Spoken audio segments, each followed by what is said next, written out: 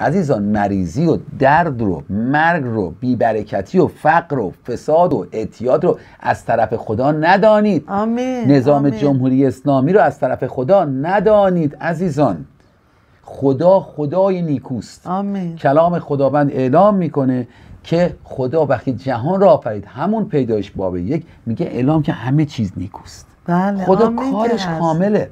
خدا ولی یه بار دیگه از کم خدا چون انسان رو آزاد آفریده یک انسان بر حسب جبری که خودش رو قرار میده بله. عادتی که خودش رو قرار میده بله.